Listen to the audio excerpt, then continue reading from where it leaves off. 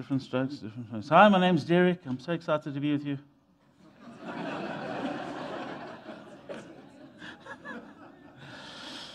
I really am. I really am. I'm amped to be with you guys this evening. Um, I'm always happier than I look. i will apologize for that. Um, my wife, we've been together now for 20 years.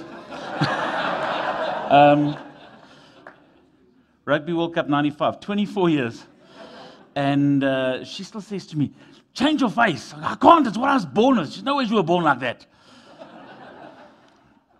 Uh, so, I've got a whole lot I want to share with you this evening. I think we're going to have a bit of fun. I'm going to scare you, intimidate you. Sorry, I'm just talking to myself. you know, so often, I, I, love what Greg was saying, where we, we, we, need to start off with testimonies. I love testimonies for me. Uh, testimonies stir faith. I want to share a testimony with you. A lady in our church, um, chest pains, battling to breathe, goes to the doctor. Doctor gives her six weeks to live her, her lungs were full of tumors. Um, you should have, have that on the screen, please. So that is a cross section of her lungs, and it's full of tumors. She had uh, less than five, between three and five percent functionality of her lungs. And uh, I keep this on my cell phone, so I didn't plan this. I keep this on my phone uh, because I need to be reminded sometimes that what we're doing is real. Maybe you just got more faith than me. I sometimes need to be reminded that uh, anyway, so this is a, these are her lungs, full of tumors. Get six weeks to live. Doctor says to her, get ready, make your affairs right. She doesn't even want to tell her children. Her boys were about 8 and 11 at the stage. So if you cut her in half this way, we didn't do it.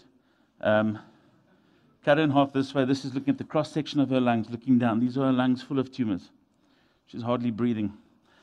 And uh, she has six weeks to live. I don't know what you do when somebody tells you you have six weeks to live. They live an hour and 20 minutes away from our church. So they came to church every Sunday. And she's in church one Sunday morning. I'm thinking, six weeks left to live.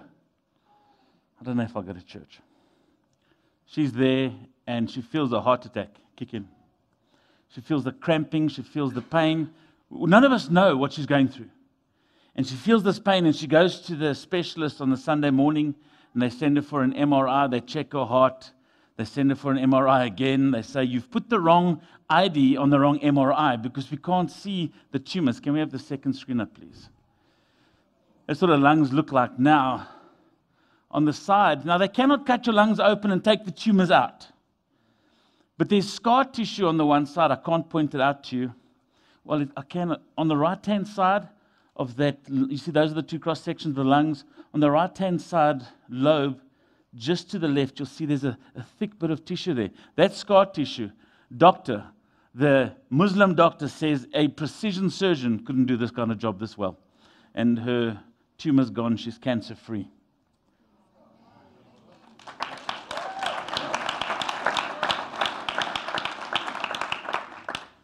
If that's how you applaud Jesus, that's sad. That's pathetic. That's pathetic. Wait until you've got a problem.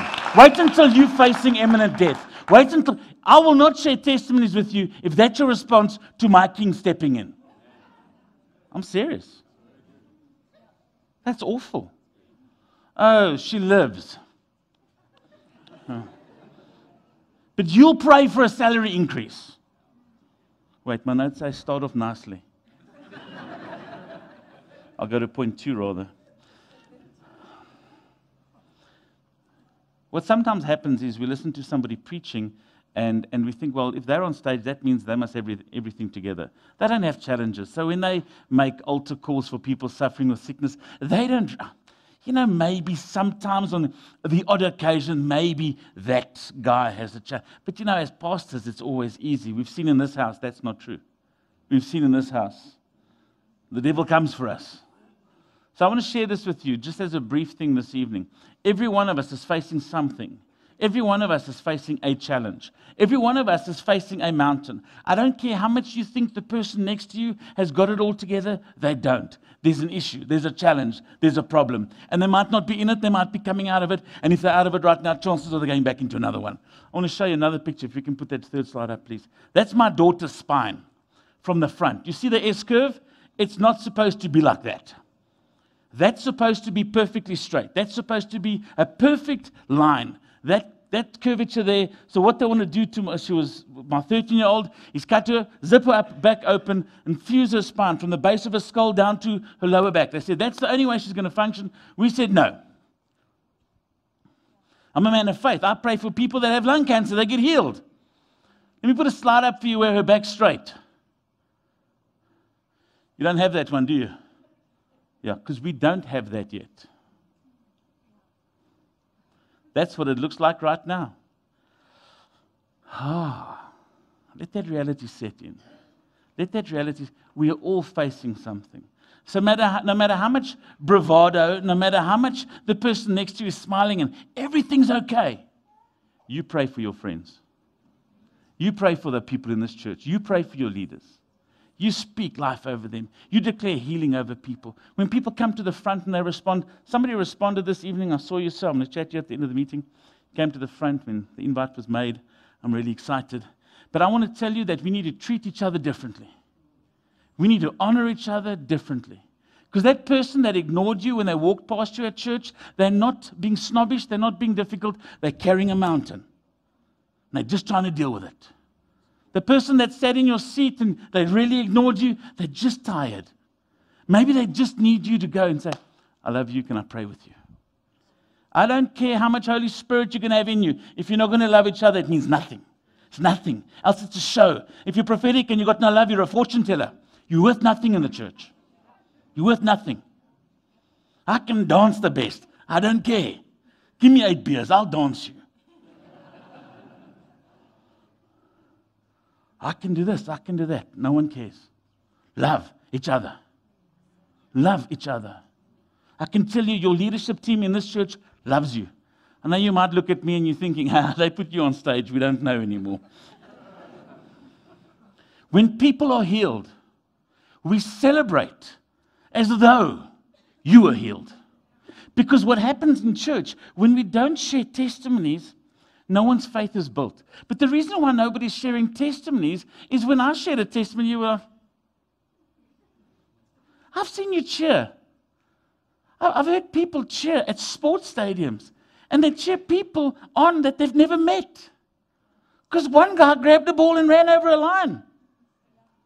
Who gives a flying frog?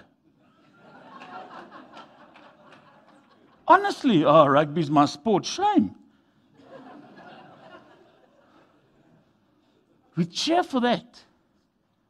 Watch, are there people that watch cycling?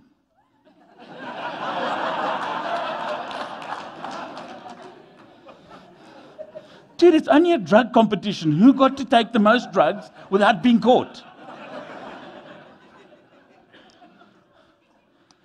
If we're not going to celebrate victories, we're not going to share victories. That's what a testimony is.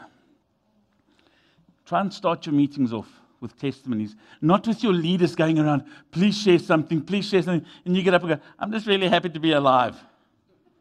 Because then we're not celebrating that with you. But there are things that are taking place in your life. Share it with the leadership. Go, well, I don't want to speak from the front, but it's funny, you wanted to come to the front when you had the prayer request.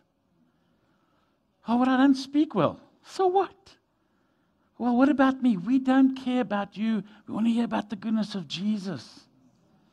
And the more we start sharing that, it becomes a hotbed for miracles. It becomes a hotbed. It's this, I expect to be healed. I was, I, I was healed. We were, we were traveling. We, was, we were in Brazil on a mission trip, and I'd ripped my ligaments in my foot. And I couldn't go for surgery. I never had time because I wanted to go on this mission trip. Um, but you've all got other better excuses. So we go on this mission trip. I get healed during the meeting. I'm on the trip. I get healed. I'm standing there and it's like, it's amazing. By the way, the ligaments still haven't joined. Two of them are totally ripped. I shouldn't be able to stand or do this, so it's amazing. Um, so, oh, we're learning, we're learning, we're learning.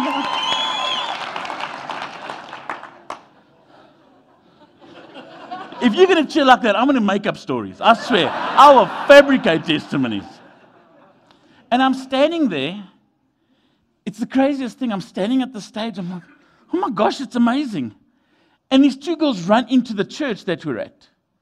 And they're carrying their friend, and I go, What happened? One of them can speak English. And, and she says, We were just playing soccer, and my friend ripped her ligament, ligaments in her left foot. You know what? I've got faith that God heals that. Set her up here. We lay hands on her. I don't know how many seconds later she's healed. So she jumps up. They don't stay for worship, indignant heathens. they run back because they need to go back to their sports game. I said to a friend, Are you saved? Yeah, yeah, yeah, they know Jesus.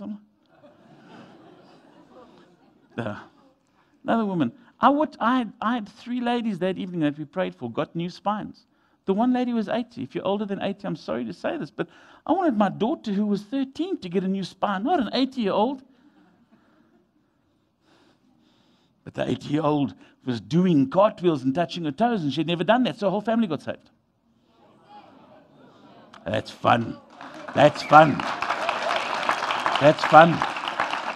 And when no one went into theology, no one went, you see, because you're a sinner, you see, with Adam and Eve, the eternal sin, they didn't care. They just wanted to meet Jesus, the one that heals. Jesus, if he heals, he obviously saves, because why would he heal if he...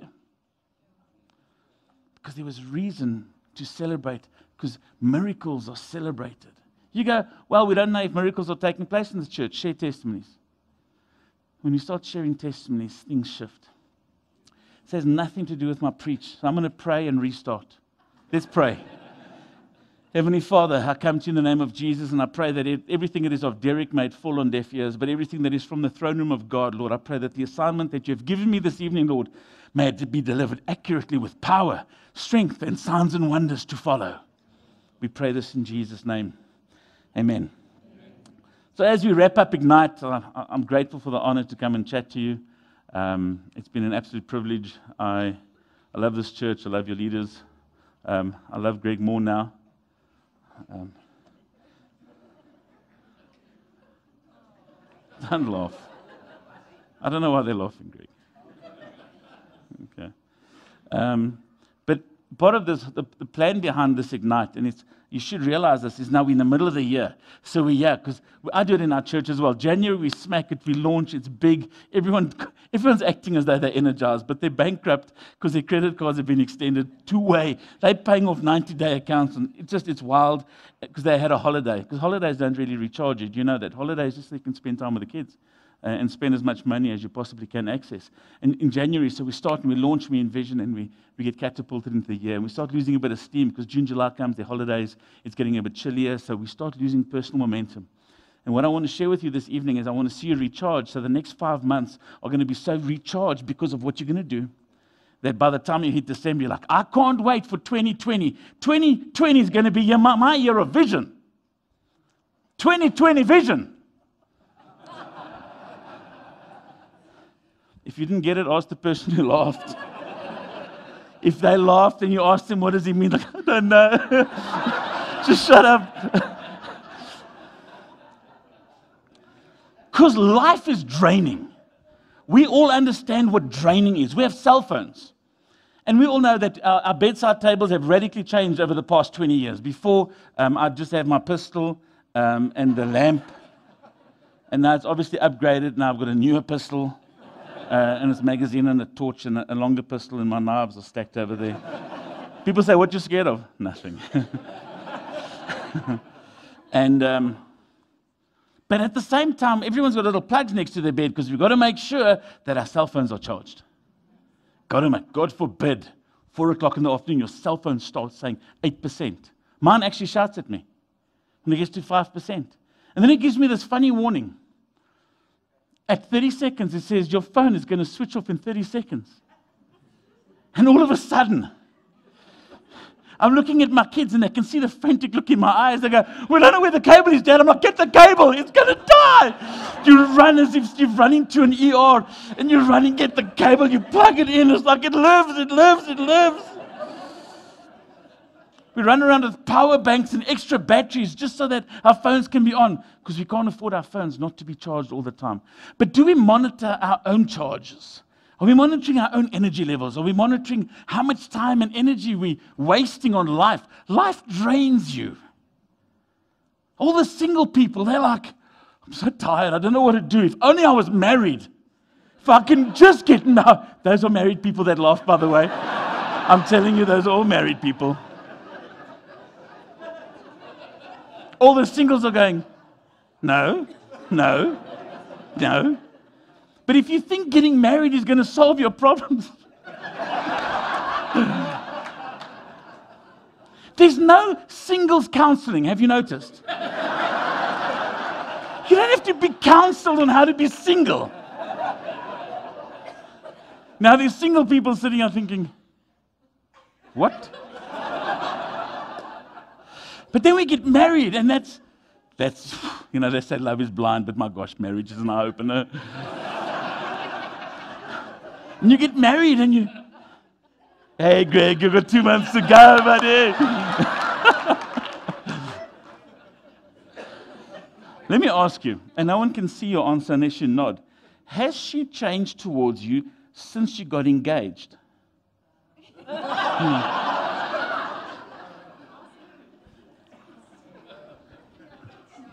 She's gripping his hand, digging her nails, and saying, For the better. so, what happens? We get married, and our life goes, Whoa, this is tough. If we have kids, now it will be better. Those people that are laughing now have kids. I've watched two grannies do this. Oh.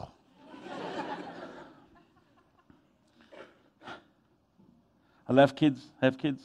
I call children sexually transmitted life group killers. Um, I mean that as a joke.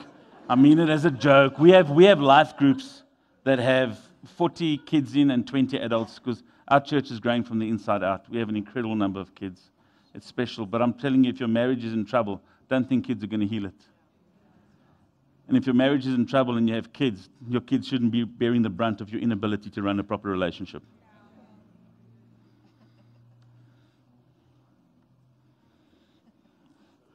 Amen. So there are things that drain us, there are things that are killing us. And we often don't know why. Why are we so tired? Oh, it must be the simple carbohydrate that we're eating at 11 o'clock in the morning. Let me tell you what the word says. Micah 7, verse 8. Let me encourage you with this. Rejoice not over me, O my enemy. You see, we have enemies. Christianity is not a picnic. Else we would have been given the tablecloth of God, but we were given the armor of God.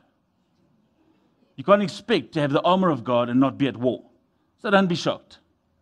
And don't act so surprised when the enemy attacks. But you have an enemy. It's sickness, it's disease, it's fear, it's uncertainty, it's lack of resources, financial ruin, darkness. It gets us. You have an enemy. And if you doubt that, no, you don't. Rejoice over me. Rejoice not over me, O my enemy, when I fall. Let me tell you that just because you've fallen doesn't mean you failed, it just because it means that you're alive. We get to fall. And I'm not talking just in sin. I'm saying life happens, death happens, business is closed, health issues hit us. Life happens. But do not rejoice over me, my enemy, when I fall. I love this warning. Enemy of God, do not rejoice over me. My enemies do not get to rejoice over me when I fall. Why? I shall rise. You see, there's a guaranteed enemy, but there's a guaranteeing that you will rise again. And it's not self help, it's a done deal. When I fall, I shall. It's a will, it's a guaranteed. No matter how badly you've fallen, no matter how badly you've messed up, and no matter how badly life has dealt with you. When I sit in darkness, not if, when. When I sit in darkness, See, this is the problem. We don't always understand that depression, anxiety. Maybe you're sitting in a bit of a, a darkness because your bills are so high. Maybe you're sitting in darkness because the medical report has come back negative. Maybe you're sitting in darkness because there's a fog in your life that you cannot shake. There's this anxiety that you're dealing with in a depression, and you're so petrified to tell anyone because everyone then goes, oh, You just need deliverance. And there's place for deliverance. Trust me, I'm a demon hunter. But the problem is, we've gotten to a point now we're so scared that we're suffering from depression, we don't tell anyone because then it's a, a psychological issue. I'm telling you, and when I'm in darkness, no matter how lost you feel, because that's what darkness does. If we switch off all the lights, you feel lost and alone because you're dark. You can't see any hope. You can't see anything. Scripture says, when I'm in darkness, the Lord will be a light to me. No matter how tired you are, no matter how burnt out you are, I'm telling you, you're called to be a solar powered human being. I'm a solar powered human being. The light of the world, Jesus Christ, He's charging me and He's empowering me. If you're being charged in any other way, if you're getting your joy in any other place, I promise you it's temporary. It's temporary. We need to be those people that we spend time in the presence of God and His light. What is His light? What is the light of God? His word is a lamp unto my feet and a light unto my path. There was a word that came earlier to be consumed by the word of God.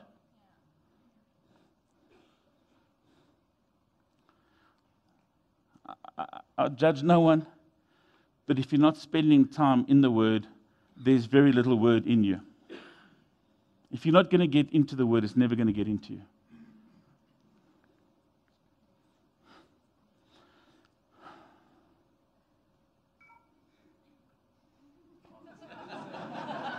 Battery. Not mine. We know we have enemies. We know there's darkness that can descend. What is the strategy for being able to deal with the challenges? What is the strategy for us to be recharged and re energized? And says this in Psalm 34, verse 8 Oh, taste and see that the Lord is good. When you know the goodness of God, you know that the fight is worth fighting. You know the journey is worth taking. You know the walk is worth walking. But it says, taste and see. What are we called to eat as Christians?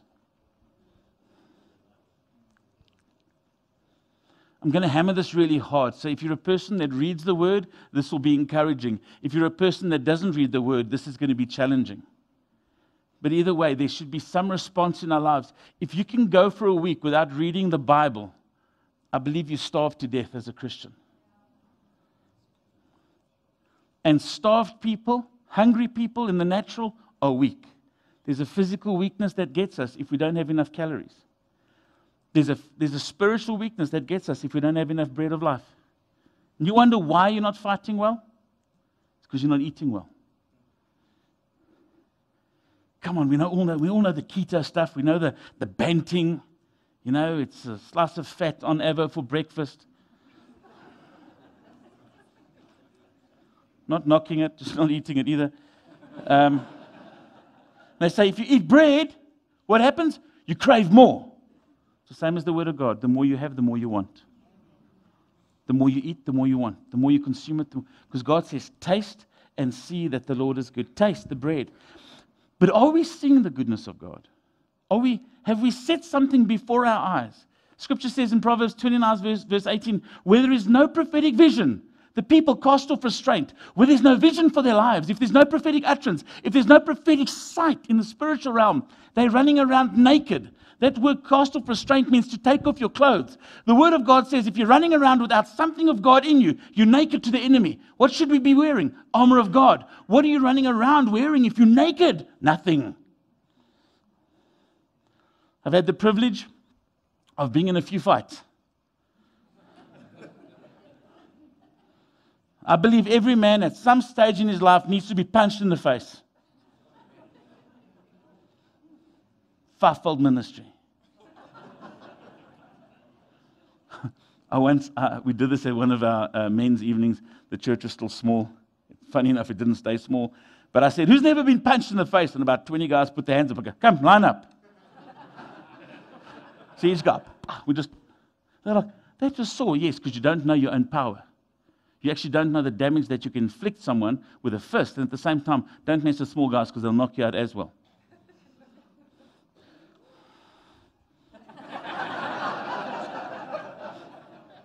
They say dynamite, you know, dynamite comes in small packages, right? Yeah, but be careful of the big ones. So, if you have no vision, if you have no prophetic vision for your life, you're running around naked. Point I was getting to. Whenever I've been in a fight, I've never taken all my clothes off. It could possibly be a way to win a fight.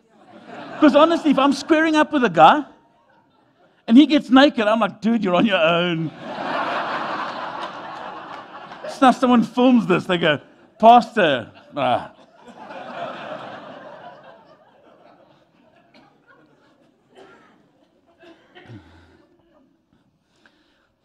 We run around naked as Christians because we have no prophetic vision for our lives. Dads, do you have a vision for your family? Oh, good Lord, if they'll just pass. If that's how high you're aiming, chances are you won't even hit that. Well, if I can just make it to the end of the year. And fruit flies have that life, life expectancy. I.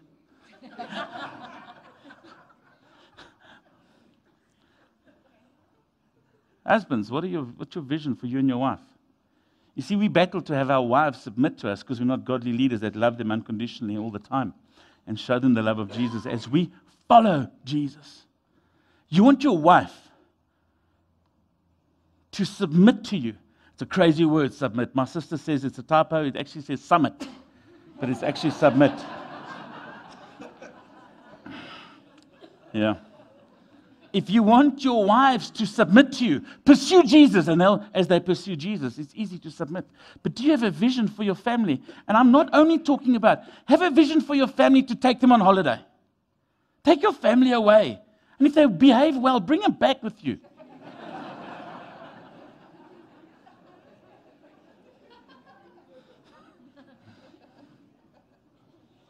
Do you have a vision for your family where you want to see your kids when they're 25 years old?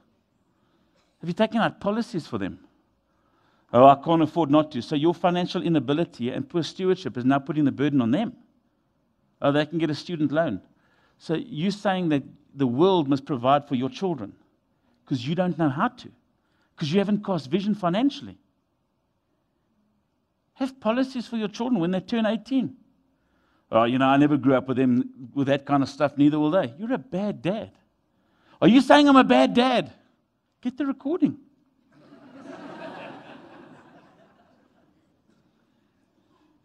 Where there's no prophetic vision, I believe we need to actually have pictures in front of us that show us what we're pursuing.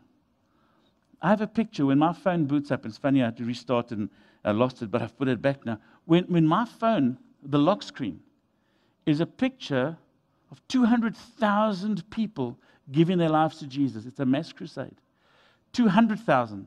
200,000 people giving their lives to Jesus. From Islam to Jesus. From death, devil worship to Jesus. Because I'm trusting I will see that in my day while I stand and minister the gospel. That's, my, that's what I dream of. I, I, I have a, there's a prophetic word over my life that I'm a wrecking ball. The wrecking ball. I, a company I worked for actually printed a t shirt, not the church. They had a t shirt made, the wrecking ball. The prophetic word over my life is you'll be a wrecking ball that breaks down religious mindsets and challenge religious spirits. If you're being challenged right now. so I have that as my background on my phone. And every time I look at my phone, I'm reminded don't settle for what the world wants you to fit into, but pursue his presence and start breaking down whatever the enemy has set up and whatever man has set up as its structures. But I have it set before me because every decision I make, I want to make sure that the decisions I make on Monday are in line with where I want to be on Wednesday. And where I'm going to be on Wednesday is taking me closer to where God has called me to. I cannot waste days, I can't waste time. There's a prophetic vision that God has given me for my life, and I pursue it with everything in me. I'm, I'm crazy with this kind of stuff. I have pictures on my laptop of things that I'm trusting for.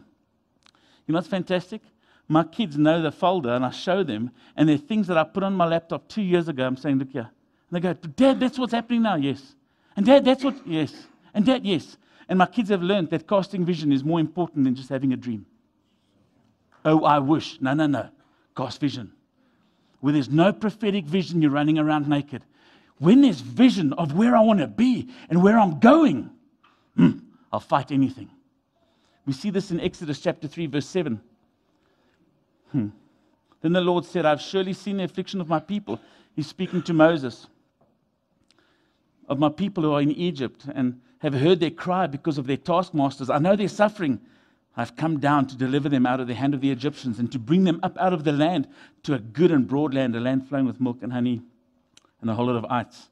You see, a word from God is enough and adequate to provoke you to have enough faith to start the journey. A word from God is enough to provoke faith in you for you to start the journey. You start the journey. God says to you, You will. As Greg spoke this evening, life groups being planted, prayer meetings being started, churches being planted. That word is enough to provoke you to start the journey. Let me show you this as well. Numbers 27. The Lord said to Moses, Go up into this mountain of Abarim and see the land that I've given to the people of Israel. He then says, When you have seen it, you'll be gathered. He, Moses is taken away. But he says to Moses, To complete your journey, you've got to see it. Get up on the mountain. I want to show you the promised land. This is the reality. If you cannot spy it, you won't occupy it. If you cannot see where your family is going, the devil will distract you and mislead you at every opportunity. You got lists of, so I'll speak to the singles again. You got lists. I speak to young girls, they have lists. The longer the lists, the later they get married. But I'm telling you, have a list. Have a list of who it is that God told you you're going to marry, not who you want. One young son now, he comes to me with a list. I'm like, dude, this Eve couldn't live up to the standard. And bro, I don't think you're any Adam. You are living evidence of the fall of man. no, the truth will set you free. I said to him, shorten the list. He said, What should I say? She must be born again. And, if she says yes, take her.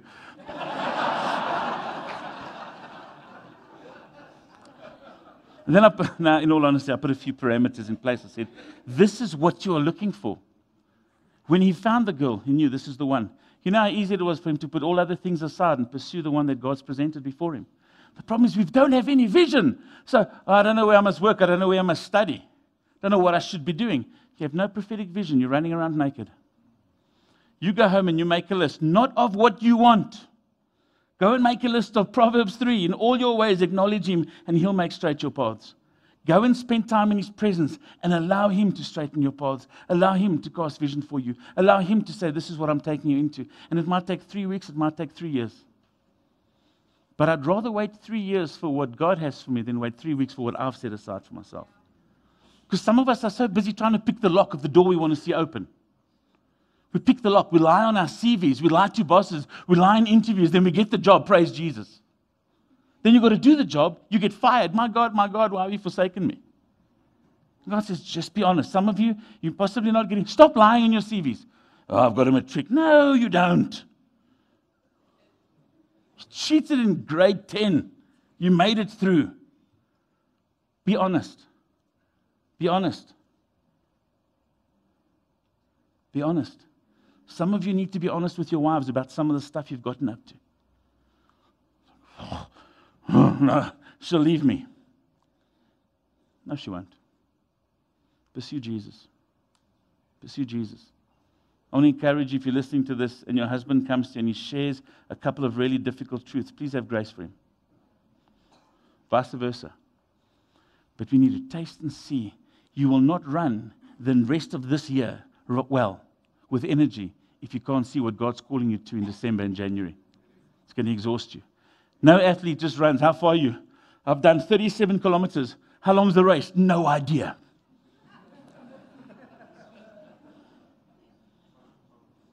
Athletes will tell you, I've done 37 kilos, I'm doing 52. I know where I'm going to hit the wall. I know where I battle. I know where I get stuck. I know where my challenges are. But I know where I've prepped and I know where I've planned and I'm going to make it. God's vision for your family.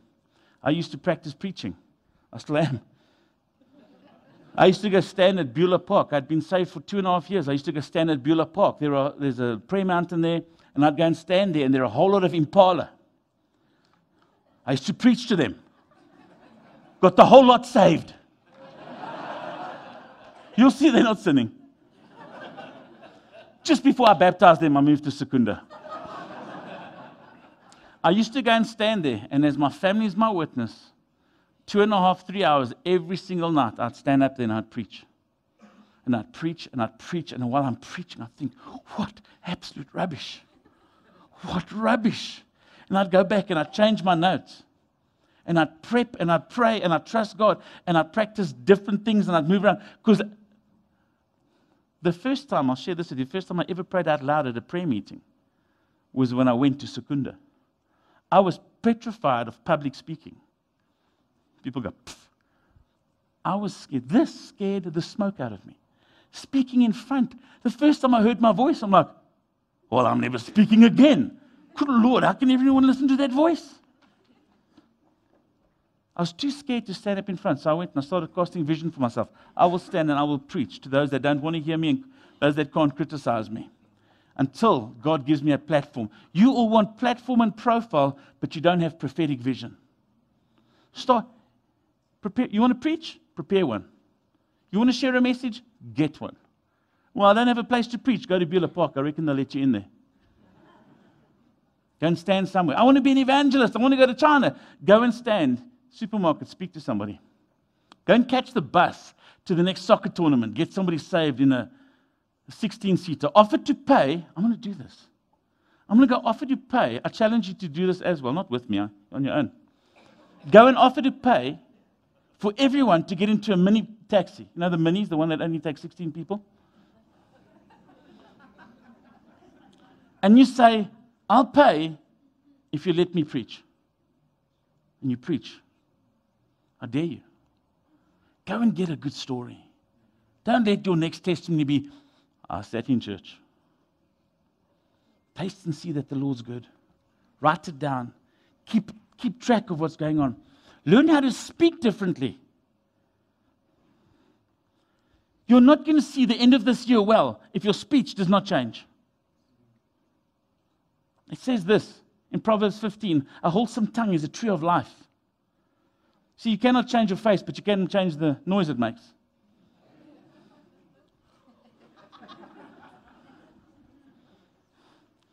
Although I've noticed this trend on Facebook. Now, I don't know how many billions of dollars are spent annually for people to look younger. They, they spend, not we, they spend a fortune on trying to look younger. It's hair dye and uh, it, it, it's Botox. You know, they say a few years ago, you know, no one really knew about Botox. Now you mention it, no one raises an eyebrow.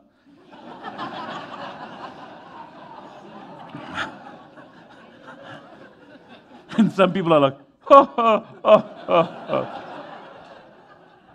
and all of a sudden on Facebook, now you have this app that makes everyone look older.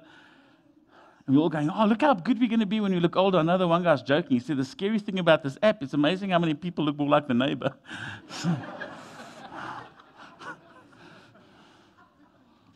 What's coming out of your mouths? If your tongue is a tree of life, if in Proverbs 18 it says, life and death is in the power of your tongue, I want to quickly show you a video. If you can run that video, please.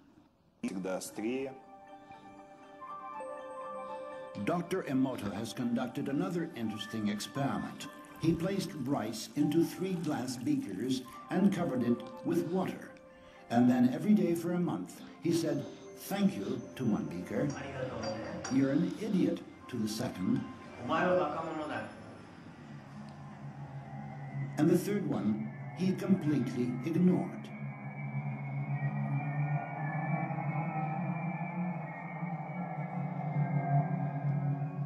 After one month, the rice that had been thanked began to ferment, giving off a strong, pleasant aroma.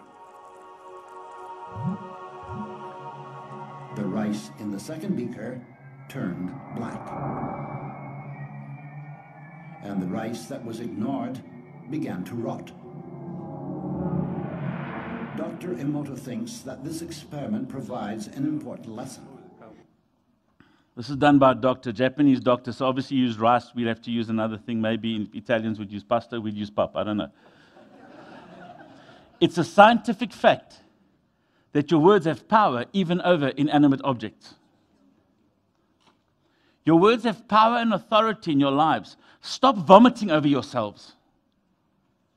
Because what happens is we take the word of God, we eat it, and before it becomes part of us, we bring it up because we speak against it. Oh, you know, I've got a bad memory, you probably have Alzheimer's. you think it's funny, so does the devil. as soon as we align our speech with what the devil's saying about us, I've said it before, you're praying to the wrong God. What do you speak over your families? What do you speak over your children? You come with stupid nicknames critical of your wife, critical of your children. You speak death over your future. You speak death over your finances. You use social media to mock yourself and your family. Oh, this is typically me, and you'll have a joke about somebody who's clumsy. Oh, I'm accident prone, and the person's accident prone. They're not prophetic, they're just speaking over themselves. And it's not positive thinking, it's deadly speech. The word says it. I want to give you two illustrations out of Scripture. Picture this Jericho, Joshua 6. Now, Jericho was shut up inside and out because of the people of Israel. None went out and none came in. And the Lord said to Joshua, See, I have given Jericho into your hand with its king and mighty men of valor. You shall march around, march around the city, all the men of war going around the city once. Thus shall you do for six days. So they start. This is the plan. They're going to walk around. Verse 10. But Joshua commanded the people, You shall not shout or make your voice heard, neither shall any word go out of your mouth until the day I tell you to shout. Then you shall shout. Verse 20. So the people shouted, and the trumpets were blown. And as soon as the people heard the sound of the trumpet, the people shouted a great shout, and the wall fell down. It actually it was pressed into the ground. It didn't fall over. It fell into the ground. So the people went up into the city, every man straight before him, and they captured the city. They had to march around for six days. And Joshua says, Don't speak. And then being silent allows God to get done what he wants to get done. Because else they'd march around and go, Look how high these walls are. Look how strong these buildings are. We could never take it. We could never capture it. We could never do this. It's impossible. Look at the height. Look at the sickness I'm facing. Look at the financial ruin. Look at my marriage. Look at my children. Look at this country. And they'd be spewing death over what God had promised them. So Joshua says, Shut up.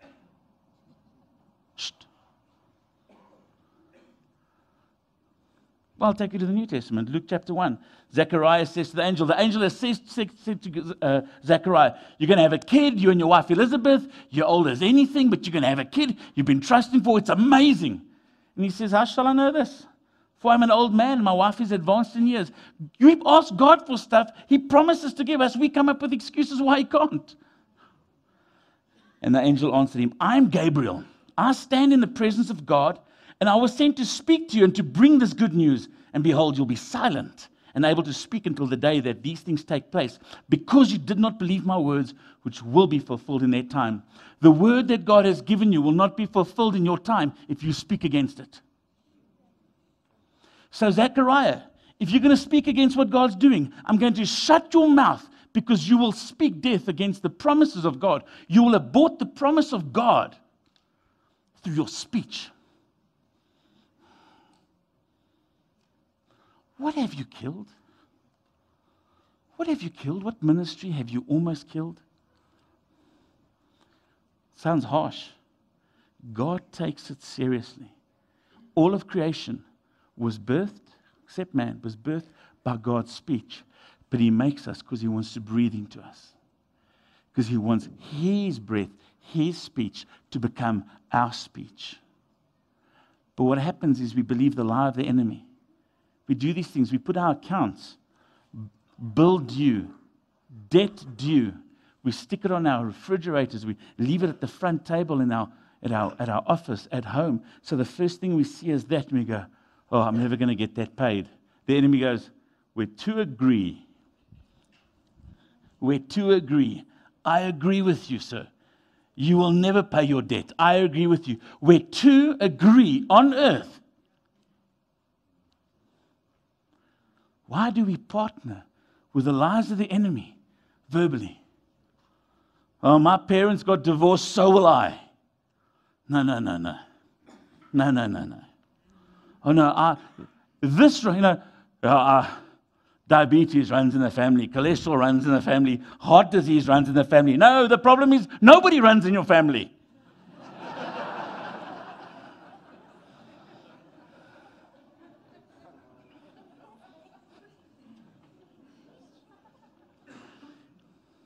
We speak, I cannot do this. The devil goes, I'll partner with it. The devil is called the accuser of the brethren. We are the brethren. So he accuses us, and we go and agree. I, have been in court a few times, um, not always my own fault, but I've, I've had people that I've accused of doing things. And when I've, I once falsely accused somebody in court, and when it came time for me to go and share my testimony, I said to the prosecutor, it is a long case, and I said to the prosecutor, actually, what they're saying is true. Without hearing anything of the story, the judge ruled in favor of the one that was being accused because the accuser was agreeing with her. Are you with me? I was the accuser. I was falsely accusing her. I agreed with what she said. She was telling the truth. The case dies. If she had come and said, I plead guilty to what the accuser is saying, she would have gone to prison. Why do we agree with what the accuser is saying? So that he can destroy our lives. He says, the word says he comes to steal, kill, and destroy. Chapter John, uh, John chapter 10, verse 10. Jesus says, I've come to give life and life in abundance, but then we speak death. He says, life and life in abundance. We, he goes, life and life in abundance. Life and life in abundance. Life and death is in the power of the tongue. Can we perhaps start partnering those two scriptures to have it become relevant in our lives? He's speaking over your business. My business is prosperous. It's not name it, claim it, and frame it. It's easier. Name it. Speak life. Oh, you're one of the word of faith people. Yes, I read the word, therefore I have faith. Are you speaking life? I can't play an instrument. Try. Well, I can't, I can't sing, I know I can't. I'm all right to that. Speak life over your family. Most nights, some nights I've got this very endearing habit. Oh, My wife's gone to the loo, I can tell you quickly. I have this very endearing habit that at night, when I fall asleep, I purr.